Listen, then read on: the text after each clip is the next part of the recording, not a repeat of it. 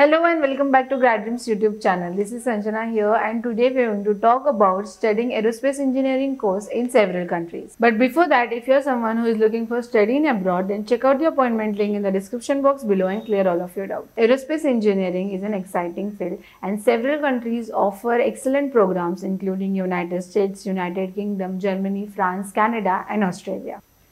All these countries has reputable institutions and universities for aerospace engineering courses. Now let's explore the aerospace engineering courses and the application requirements in several countries. So the very first country is United States. There are numerous prominent universities that offers aerospace engineering courses such as Massachusetts Institute of Technology, California Institute of Technology, Stanford University, Purdue University, Georgia Institute of Technology. So the next up is the application requirements required for these countries. Typically, you will need to submit your academic transcripts, standardized test scores such as SAT or SAT and GRE or GMAT in case of masters, letters of recommendation, statement of purposes and sometimes a resume.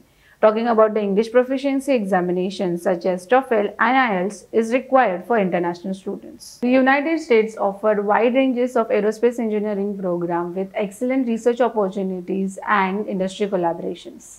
The second country is United Kingdom. There are numerous prominent universities that offers aerospace engineering program. They are as Imperial College London, University of Cambridge, University of Oxford, University of Bristol and University of Southampton. Now talking about the application requirements in United Kingdom. They are as applications are usually made through universities, colleges, admission services, UCAS.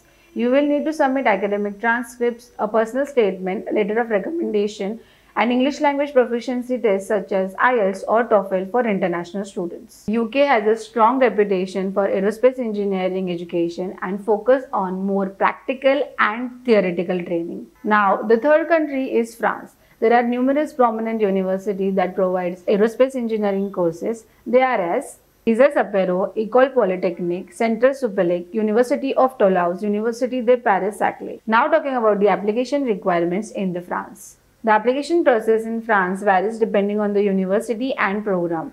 Generally, you will need to provide academic transcripts, letter of recommendation, a personal statement and a language proficiency test such as DELF and TCF for international students. France is renowned for its aerospace industry and studying aerospace engineering with a strong foundation that emphasizes on aeronautics. So the fourth country is Canada. There are prominent university that offers aerospace engineering courses and they are as University of Toronto, University of British Columbia, McGill University, University of Waterloo and Ecole Polytechnique de Montreal. Now talking about the application requirements in the Canada. The application process in Canada typically involves submitting academic transcripts, letter of recommendation, a statement of purpose, English language proficiency tests such as IELTS or TOEFL and sometimes resume or portfolio.